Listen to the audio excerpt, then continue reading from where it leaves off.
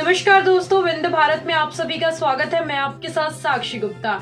आइए बढ़ते हैं खबरों की ओर। रीवा कलेक्ट्रेट में पेशी करने आए दो पक्ष आपस में भिड़ गए। वाद विवाद बढ़ता देख पुलिस को सूचना दी गई। मौके पर पहुँच पुलिस ने स्थिति को संभाला और दोनों ही पक्षों को समझाइश देकर सिविल लाइन थाने भेज दिया।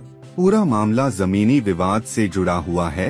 दरअसल कुछ साल पहले उमेश चंद्र सोनी द्वारा अमहिया स्थित 3,900 स्क्वायर फीट ज़मीन मुन्ना सिंह से खरीदी थी जिसका बकायदा रजिस्ट्री भी हुई और उस ज़मीन पर पीड़ित ने दो मंजिला घर भी बनवा लिया। लेकिन जब तीसरे मंजिल का काम शुरू हुआ तो पूर्व ज़मीन मालिक मुन्ना सिंह ने काम को रुकवा दिया।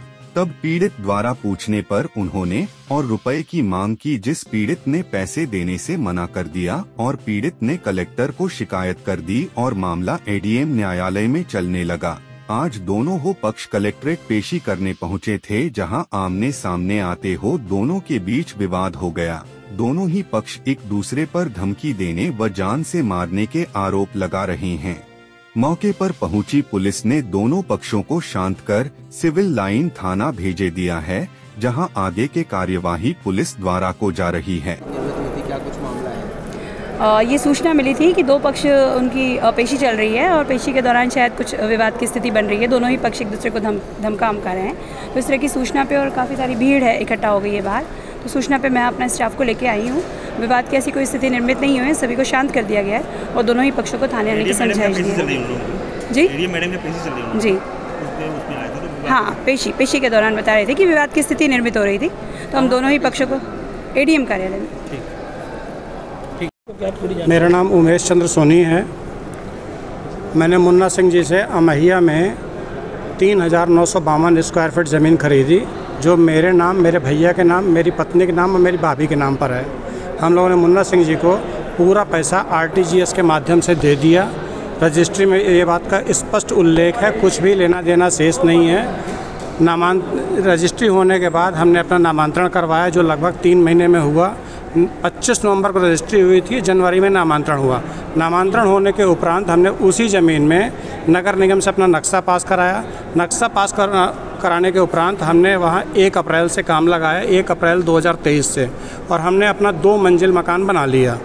दो मंजिल मकान बनाने के उपरांत जब तीसरे मंजिल पे हम काम लगाए तो मुन्ना सिंह जी एक दिन आए और ईंट पत्थर मार के हमारे लेबरों को भगा दिया गाली गलौज देने लगे और अपशब्दों का प्रयोग किया। हम दस दिन बाद जब जा कर के उनसे मिले कि ये गलत बात है तो उन्होंने कहा कि अभी मेरा लड़का जेल में है, जब तक मेरे लड़के की ज़मानत नहीं हो जाएगी, तब तक मैं कुछ भी बात नहीं करूँगा। ऐसे तैसे करते करते तीन महीने बीत गए। तीन महीने बाद मुन्ना सिंह जी कहना चाहिए, पैसे की डिमांड करने लगे कि हमें पैसा चाहिए और हमें पैसा कम मिला है। तो हमने कहा, भाई, कौन सा कम मिला है? हमारे हाथ का कहीं पे लिखा हो, हमसे कोई पीडीसी चेक लिया हो आपने या अन्य किसी तरह का एविडेंस हो, आप हमारे सामने प्रस्तुत कीजिए, हमसे पैसा लीजिए।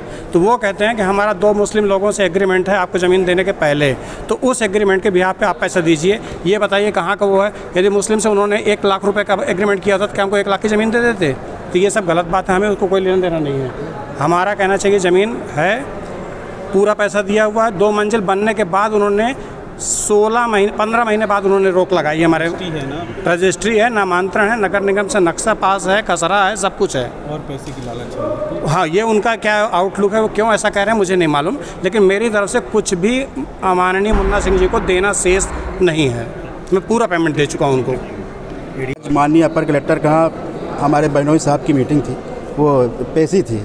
तो हम और बहनोई साहब हम लोग आए तो एक हंसराज सिंह जी है जो कि आपको अब एग्रीमेंट किए हुए थे, अब आज तक पैसा नहीं दिए और कहते हैं कि पैसा मांगने आकर तो गोली मार देंगे। तो आज उन्होंने उल्टा ही केस अपर माननीय, अपर कलेक्टर कहाँ लगाया था।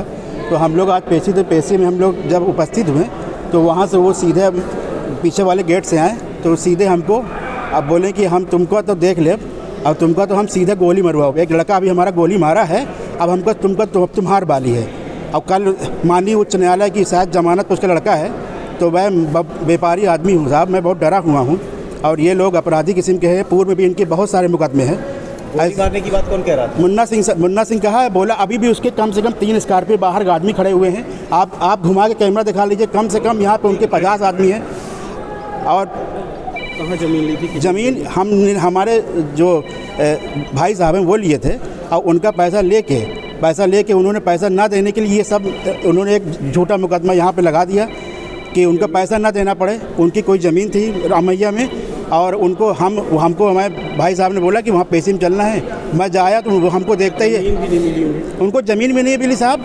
और जो उनका पैसा है वो भी पैसा देने को पैसा सब अनुमान में लिखा हुआ है लिखा है उनके पीछे लिखा हुआ है। पैसा देने के लिए सिर्फ़ ये पैसा ना देना हो और भी उन जिनको जिनको ये पूर्व में भी जो रजिस्ट्रिया किए हैं उनको भी कब्जा नहीं दे रहे हैं पूरा पेमेंट उनसे ले चुके हैं वो भी बेचारे भटक रहे हैं और अन- हाँ उसी ज़मीन में हाँ उसी ज़मीन में सब है वो इसलिए दबाव साहब हम अभी बाहर भी उनके तीन चार पुराना मामला ये? लगभग दो साल पुराना मामला है। है? हम मुझे माननीय माननीय हमारा नाम अरशद अब्बासी है पुलिस भी माननीय पुलिस अधीक्षक साहब से मुझे कि इनसे अपराधियों से बचाया नहीं ये मेरा निश्चित ही मर्डर मर्डर करवाएगा मेरे निश्चित। अगर ये दो तीन दिन के अंदर एफ़ आई आर नहीं हुई मेरी निश्चित मर्डर होना है। हाँ मामला जो है भैया यहाँ चल रहा है इसी अपर कलेक्टर साहब के यहाँ।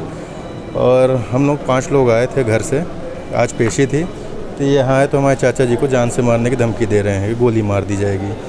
ज़बरदस्ती प्रशासन प्रशासन को बोल रहे हैं हम कुछ नहीं मानते हम ज़बरदस्ती कब्जा ले लेंगे इसके द्वारा धमकी दी जा रही है गोली मारने की? ये अरशद अब्बासी जी के द्वारा।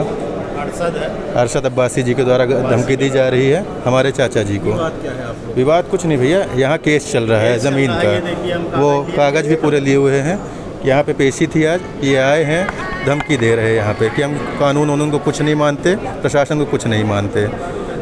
ज़मीन का लेन हाँ ज़मीन का ही है भैया पैसे का कुछ लेन देन है उसके चक्कर में ये बोल रहे हैं। केस चल रहा है क्या नाम भैया? सचिन सिंह परिहार नाम है।